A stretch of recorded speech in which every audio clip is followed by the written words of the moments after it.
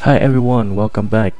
This Lumise tutorial videos will be focused on processing an order from customer. I will show you how you can download the design files after your customer finished their order, as well as manage your customer order status. Okay, let's get started. Because your online store built on the WooCommerce platform. So first of all, you will need to set up your email address first.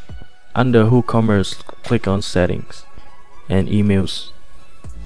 To be able to receive all the notifications like new orders, cancelled orders, and failed orders, you will need to fill in your email address at the recipients. To change the email address, hit on Manage. And in here, you fill in your email address. After you finish, click on Save the change and go back. And you will need to change in these first three lines.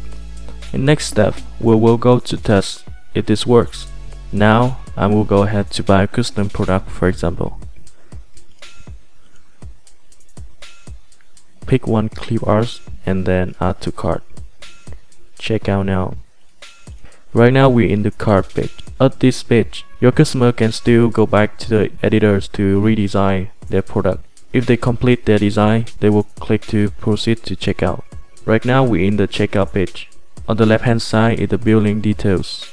And your customer will have to fill all the required information to proceed. And the right hand side will be the summarize for their orders.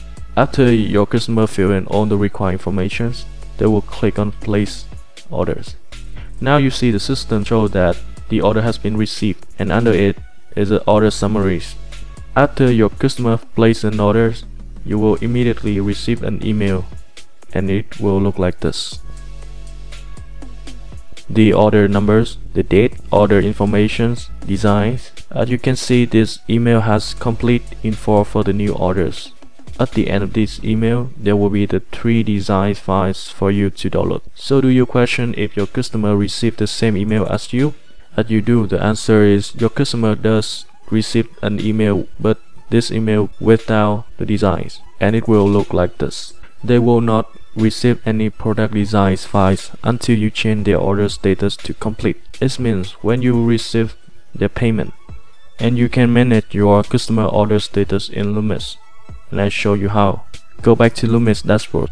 Under orders, click on own orders and you will see all of the customer order over here.